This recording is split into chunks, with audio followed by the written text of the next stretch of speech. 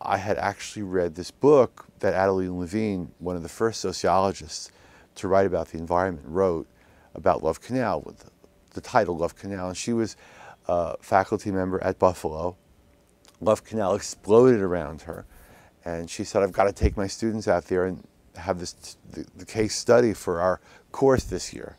It wasn't, of course, the, the environment. There were no environmental sociology courses at that time, but she was very committed to this and um, did a great job of getting her students to interview everybody and to look at the process as it went through the local health authorities, the New York State Department of Health, and looking at all the organizing. And, you know, it was a very big deal. She wrote this book, and I read it, and I said, you know, I have a name for this. If it were me, I would call this popular epidemiology. And this was a, a period of time where we were using the term popular a lot. You know, so popular this, popular that. It meant that people were involved. It was like a grassroots lay kind of approach to life. And it's like it just stayed in my brain for a long time until we began to interview the people in Woburn. And of course, what they were doing there was they were working with scientists at the Harvard School of Public Health to conduct this very large scale epidemiological study. And it meant that they were going out interviewing people about their exposures and their uh, proximity to the water system and other things of that sort. So they, they were engaging in science and they were doing what other people have called uh, creekside epidemiology, barefoot epidemiology. I got to bring in my term popular epidemiology. It just fit perfectly because they had uh, an enormous amount of scientific impact in that study.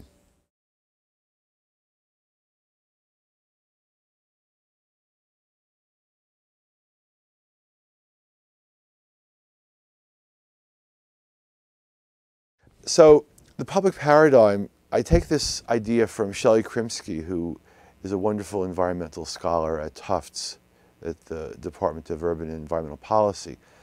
And he wrote a book uh, called Hormonal Chaos. And this was a social science and science and technology studies approach to looking at how the endocrine disruptor hypothesis had grown and become accepted.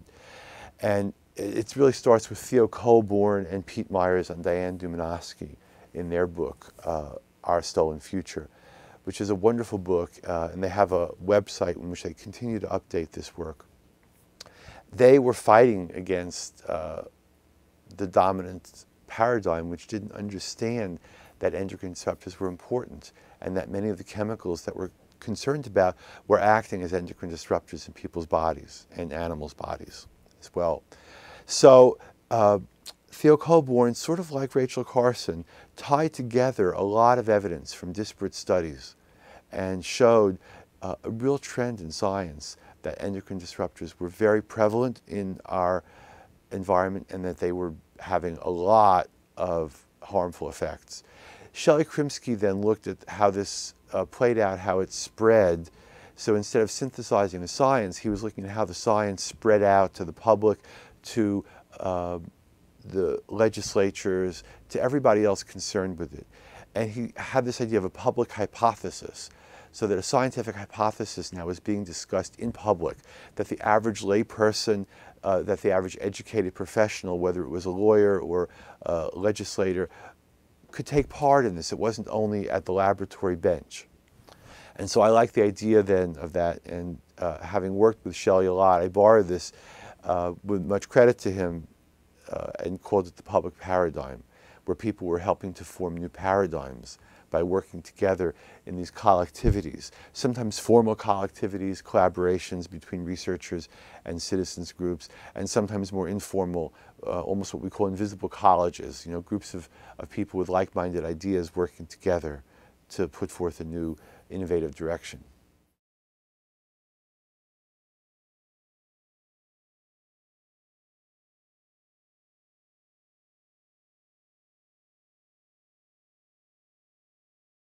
So this notion of the dominant epidemiological paradigm is not that there's a, always a monolithic paradigm, a singular view that says disease is caused by these factors, but there generally tend to be uh, well accepted ideas, beliefs, and opinions.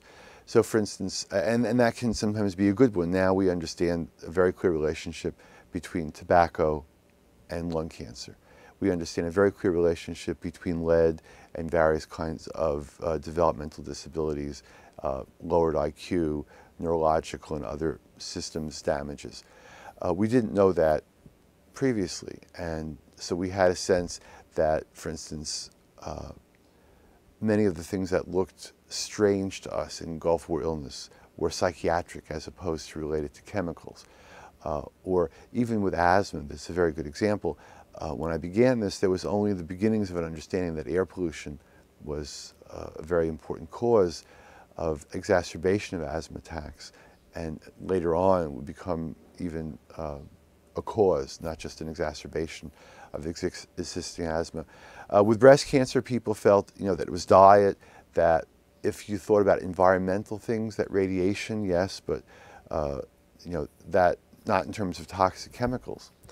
So it wasn't just that scientists felt that way, but the policymakers also. So they weren't regulating chemicals looking for that.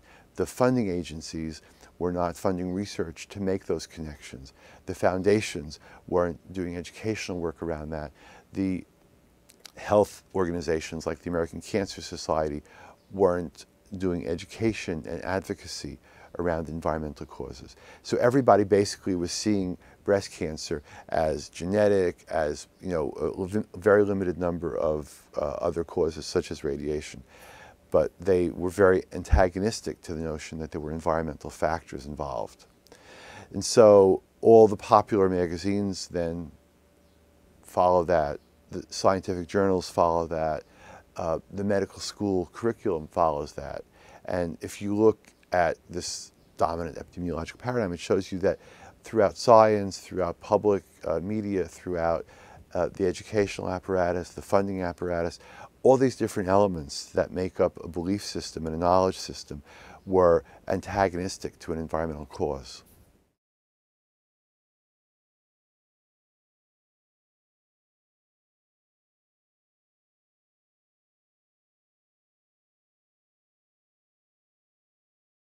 Well, this is something that uh, medical sociologists have looked at all along, and it you know, tends to be similar to a dominant epidemiological paradigm. It's the idea that you have typically a, a single cause for a single disease, and that you only look at those kinds of approaches, whether they be very macro, in other words, uh, sewage spills, and then there's a likelihood of infectious diseases, or at molecular level, um, that uh, a certain chemical can cause a certain DNA break.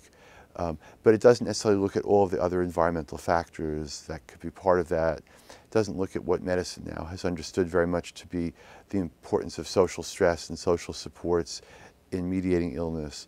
Uh, and you know, recovery from various illnesses is also profoundly affected by the social networks that you're in, the kinds of stigma that you face or don't face. And so the critics of the biomedical model wanted to say, yes, of course there are, are clear uh, issues in infectious and chronic disease that can be seen biologically and biochemically, but there are so many other things that make up this complex. And at first, you know, these were very uh, obscure ideas back when, uh, in the 60s, when people like Rene Dubos were writing about this. And, uh, some of the first work on stress was coming out. And, and now we understand the importance of that. So uh, people's levels of stress and social support, the environment they're in, um, the epigenetic effects of a chemical that in tandem with a DNA break uh, or damage can lead to a profoundly larger impact than just that DNA damage alone uh, we're beginning to see a much wider range of causes. So the critique of the biomedical model was to, to say, let's, let's look broader.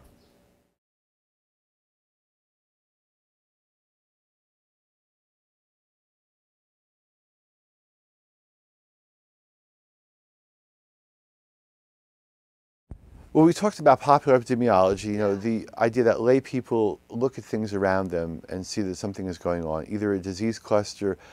Uh, in rural areas, people who fish a lot will notice either the absence of fish that they always knew or they'll see a fish kill. Uh, people will smell the release of hydrogen sulfide when uh, petroleum wastes are being dumped in a, a, a deep injection well. Um, there are all these things that they see, smell, and notice because they are aware of their natural environment. And then they call this uh, to the attention of other co-residents, uh, to sympathetic professionals, to health officials, to legislators, and seek knowledge, study, redress, regulation. Critical epidemiology is a concept more the way that epidemiologists as scientists think about this. Uh, how can they look at epidemiology in a more complex way than just how one or several factors cause a disease? So they begin to look at what would be the sources of the chemicals that they're concerned with, what would be the barriers to understanding why would uh, government agencies be reluctant to find evidence for this? Uh, why would corporations uh, be trying to counter this with their own, what we now call tobacco science?